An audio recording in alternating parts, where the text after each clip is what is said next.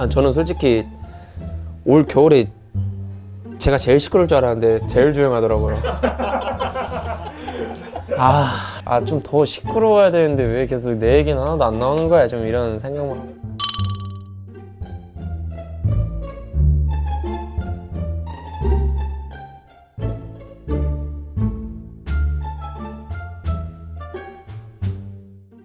제가 작년에 제가 잘해서 잘한 것도 아니고 그냥 주위에 있는 어, 선배 형들이나 또 같이 경기를 뛰어준 선수들 때문에 제가 작년에 돋보였다고 생각을 하고 있고요. 그리고 제가 또 이렇게 좀 1년 사이에 발전을 할 수 있었던 점은 그래도 감독님께서 끝까지 믿어주시고 신뢰해 주시는 것 덕분에 좀 제가 계속 그거를 또 보답을 해야 되기 때문에 더 노력을 하고 그런 부분에 있어서 그래도 많이 발전이 되지 않았나 생각을 하고 있어요. 일단은 볼이 아웃이 되고 나서 범석이 형이 그볼 받으러 가더라고요. 그래서 제가 아 제발 범석이 형한테 볼 줘라. 좀 노리고 있었어요 그거를. 그리고 범석이 형한테 볼을 던졌을 때 제발 한번 터치해라. 터치하는 순간 내가 달려가서 박는다. 이 생각밖에 없었어요. 그냥 그런데 터치하는 순간 그냥 진짜 가서 그냥 볼안 보고 그냥 박아버렸죠. 특별한 이유가 있었어요? 뭐 전, 전 과정 아니요 뭐 이유는 없었는데 그냥 이때 아니면 언제 박아요? 범석이 형을? 뭐 기분이 뭐 좋죠 당연히. 왜냐면 한 팀의 감독님께서 그런 말씀 해주신다는 거는 어떻게 보면은 정말 믿음이 가장 큰 거잖아요. 근데 이제 감독님께서 재계약을 하신 후에 이제 어떻게 보면은 제가 갈 곳이 좁아졌죠. 장난이고. 그냥 감독님이 있을 때는 그래도 감독님 밑에서 최선을 다해야죠. 어 저는 그 생각은 변치 않고 있고요.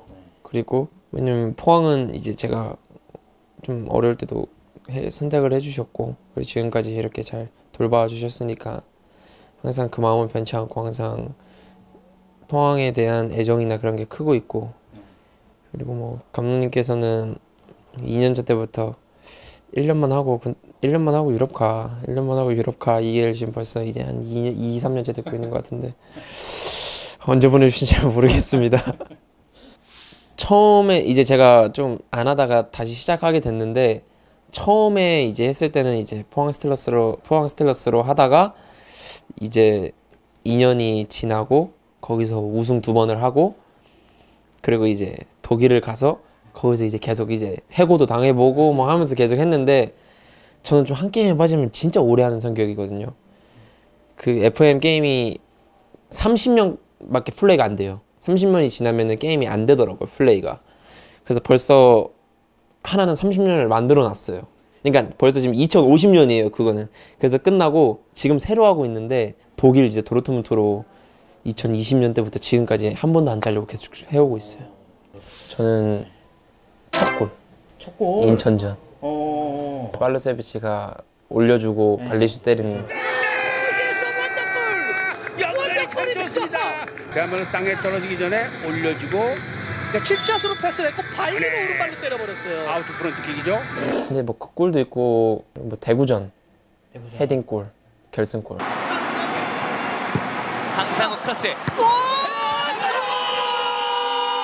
송민규! 송민규 헤딩골 3대2 역전 포항 스틸러스! 와, 펠레 스코어를 만듭니다. 감독님이 그랬거든요 너 이 대구전에서 골 넣으면 네 영플레이어상 확정이라고 아... 와 근데 진짜 딱 골을 넣어가지고 3대2 역전을 만드는 포항 스틸러스입니다. 이제 얼마 남지 않는 이제 개막이 조금씩 조금씩 이제 다가오고 있잖아요.